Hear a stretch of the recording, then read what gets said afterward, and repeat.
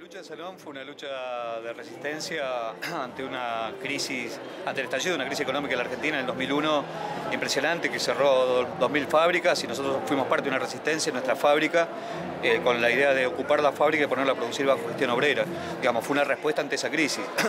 fuimos parte también de un movimiento mucho más amplio, que donde habían los trabajadores organizados un movimiento desocupados, habían asambleas barriales y populares y de alguna manera nosotros fuimos la expresión obrera, la expresión de los trabajadores de, resistencia ante esa situación y de generar una alternativa.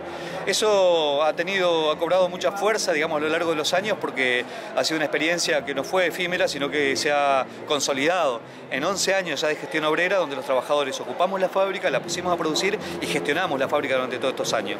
No fue en forma sola y aislada, sino que fue también eh, con mucho apoyo de la comunidad nosotros pudimos tejer lazos solidarios con, el pueblo mapuche, con la juventud, con los estudiantes que estaban en lucha en su momento, estudiantes secundarios, universitarios, bueno, con otras organizaciones en lucha. Toda esa siembra pequeña que hicimos fue muy fuerte después a la hora de sostener la gestión obrera porque tuvimos un ataque, represiones, eh, procesamiento. Yo he llegado a tener siete causas penales, digamos, por la ocupación, puerta en marcha y la, y la lucha. Bueno, cuestiones que fuimos superando con la solidaridad y bueno, con, el, avance de la lucha y la consolidación de Sanón como una alternativa, como una fábrica que la comunidad vio que no era solamente la ocupación y resistencia, sino que también se pudo poner en marcha, se duplicaron los puestos de trabajo y hoy en día bueno, se consiguió la expropiación definitiva de la fábrica, duplicar prácticamente los puestos de trabajo y resistir en una economía capitalista que no es fácil, porque de alguna manera la ocupación y puesta en marcha está todo bien, pero después tenés que navegar con una gestión obrera, con una economía muy débil, en un sistema capitalista que tiene sus vaivenes económicos y que en cada vaivén destruye miles de puestos de trabajo y a nosotros eso nos llevó a estar eh, rodeados, digamos. Es una... Por eso yo siempre defino a Sanón como una trinchera de lucha, no es el lugar definitivo, no es el lugar ideal, pero sí es una trinchera de donde defendernos para poder avanzar. Y eso ha sido así. Y uno no quiere vivir en una trinchera toda la vida. No, así que es un baluarte. Pero... Ese avance del que hablas, ¿vos ves que se puede llevar el modelo de Sanón a, gran escala a otras empresas, otras fábricas, otras industrias? Yo creo que sin duda es una alternativa. Pasa que es una alternativa que hay que construir con una fuerza material, militante y política grande también. Mira, sin ir más lejos, hace poco, porque hay muchas experiencias en otros lugares, pero hace poco, invitado por, por corriente internacional, viajé a Europa eh, ustedes saben que hace seis años que viene una crisis ininterrumpida. Estuve en Grecia, que tiene el 35% de desocupación y el 60% de la desocupación de la juventud. Y fue enorme llegar a una fábrica que está ocupada bajo control obrero y puesta a producir, una pequeña fábrica que se llama Biomé, y inspirado en la lucha de Sanón. Y en la puerta de esa fábrica está pegado un cerámico mapuche, que es, de los producidos acá en Sanón. Y los compañeros fue, nos habían pedido hace como un año atrás una solidaridad, ellos estaban en lucha, no sabían qué hacer, y le mandamos una carta, pero bueno, de onda, de solidaridad, pero... Algunas instrucciones, alguna... claro, un mensaje en una botella. Los compañeros atesoraban esa carta, pero como, como, como una tabla de salvación enorme. Dice, esto nos cambió el curso de nuestra vida porque vimos que era posible, vimos en ustedes, bueno, se metieron después vía redes y todo, a averiguar cómo venía la mano en serio. Y bueno, se sintieron completamente entusiasmados y bueno, hoy están trabajando, pusieron la fábrica a producir y tienen una comisión de solidaridad enorme también de, muchas organizaciones sociales que ven en esta pequeña fábrica griega un pequeño ejemplo bastante fuerte de alternativa. Entonces, me parece que no solo es posible, sino que es necesario levantar estas alternativas.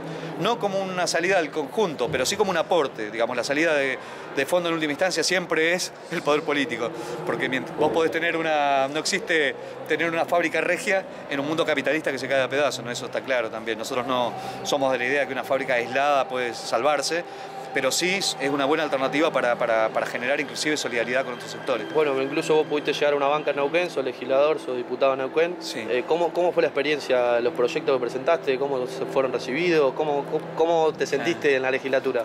Mirá, eh, en territorio hostil. Eh, estamos detrás de las filas del enemigo. este, pero fue, una, fue y es una experiencia. Yo seis meses, siete meses en la banca. Nosotros entramos ya con un sistema de rotación. Dijimos que íbamos a estar un año y volver a la fábrica a trabajar. Yo en diciembre vuelvo a la fábrica a trabajar. Ya lo hizo mi compañero Alejandro López. Entramos cobrando el mismo sueldo que cobramos en la fábrica. Todo lo demás está puesto en un fondo común para fondo de huelga.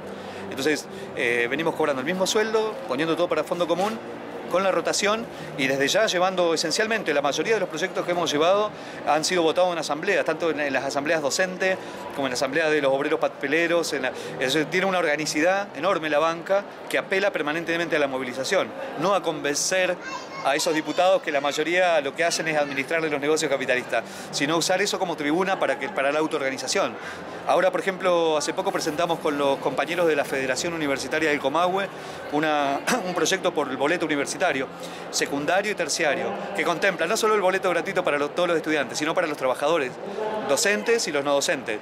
Ahora, eso, ese proyecto que presentamos está haciendo un petitorio en las universidades, en los colegios, pero además está acompañado por movilizaciones, movilizaciones estudiantiles para exigir que este boleto. Entonces, esa combinación... Es un trabajo conjunto, sí. Totalmente. Y ese es el único sentido que le vemos. No, no vemos que la banca tenga un sentido solamente para hablar y decir ideas, sino para autoorganizar y bueno, y convocar, invitar a la lucha, que es la única que nos va a llevar adelante en cada conquista. Y, ahora con todo el tema del acuerdo IPF-Chevron, que tienen que aprobarlo en Neuquén, eh, leí por algunos medios allá provinciales que no te entregan la información necesaria para, la votación y demás. ¿Cómo, cómo Bueno, un escándalo político. Digamos, este acuerdo no tiene nada que envidiarle al de Roca Runciman. Yo creo que Roca se moriría de vergüenza con un acuerdo como este.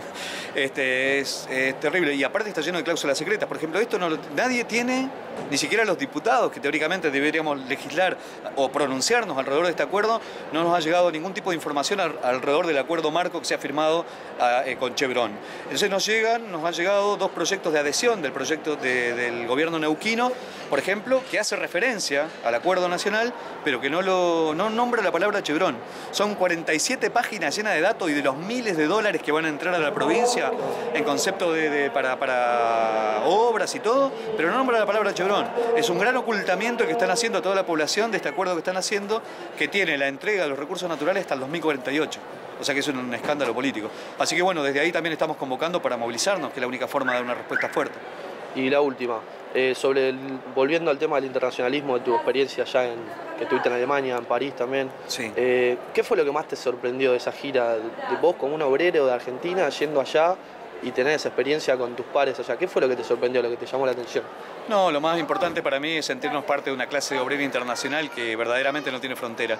Lo que más percibí, inclusive a nivel personal, a nivel de piel, fue cómo nos podíamos entender, a pesar de la cultura diferente, del idioma diferente, de la problemática diferente, sentirnos parte de una clase, es decir, hablar el mismo idioma. Sobre todo con los trabajadores que estaban en lucha. Era impresionante cómo en dos minutos ya estábamos hablando de cosas que sabíamos.